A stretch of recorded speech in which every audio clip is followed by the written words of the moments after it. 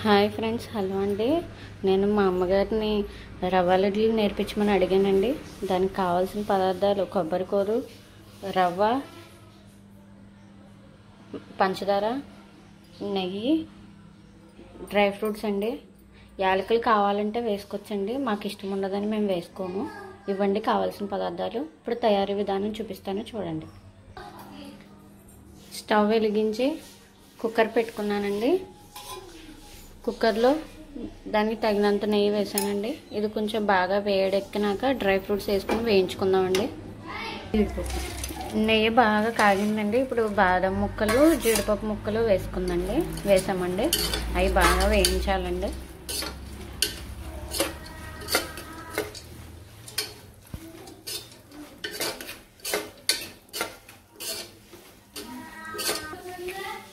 ఇలా కొంచెం golden brown colour వచ్చినాక రవ్వ వేసుకోవాలండి. మా మమ్మీ అయితే ఒక గ్లాస్ రవ్వ తీసుకుందండి. దానికి ఏమో ఒక గ్లాస్ పంచదార తీసుకుందండి.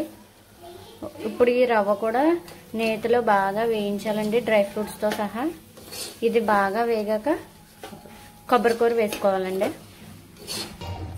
ఇలా గోల్డెన్ బ్రౌన్గా వేగాక కొబ్బరికూర వేసుకు వేసుకుంటానని చెప్పాను కదండి. ఇప్పుడు మా మమ్మీ కొబ్బరికూర వేస్తున్నారు.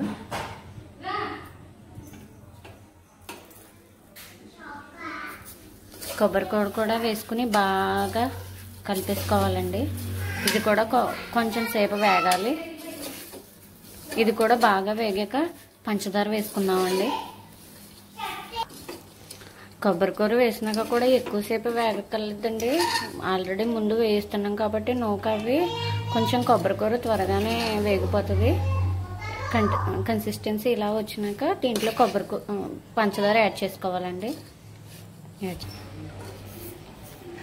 ఒక గ్లాస్ రవ్వకి ఒక గ్లాస్ పంచదార అండి. అది కొలత అలాగా వేసుకోవాలండి. అలా వేసుకుంటేనే బాగుంటుంది కరెక్ట్గా సరిపోతుందండి. ఇప్పుడు పంచదార వేసాం కదండి. ఇది కాసేపు అలా వేగుతూ ఉంటే పాకం వస్తుందండి.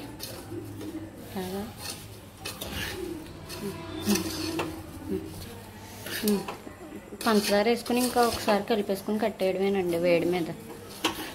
ఇప్పుడు దీంట్లో కొంచెం వేడి పాలు వేసి ఉండల కింద నొక్కేసుకోవడమేనండి.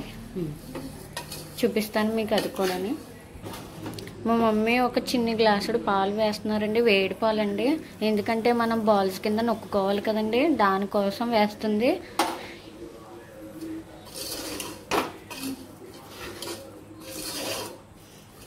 అంతే అండి. ఇది చల్లారిపోయినాక ఉండల కింద నొక్కేసుకోవడమేనండి.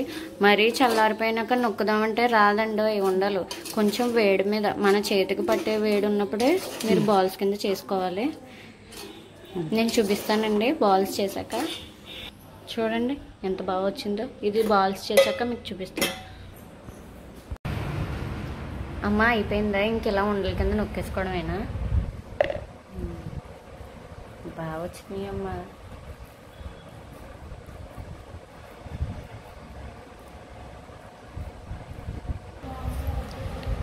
ఎమ్మి ఎమ్మి రవ్వ లడ్లు రెడీ అండి. నేను ఈ వీడియో పోస్ట్ చేస్తాను. మీరు కూడా ట్రై చేసి ఎలా ఎలా ఉన్నాయో చెప్పండి.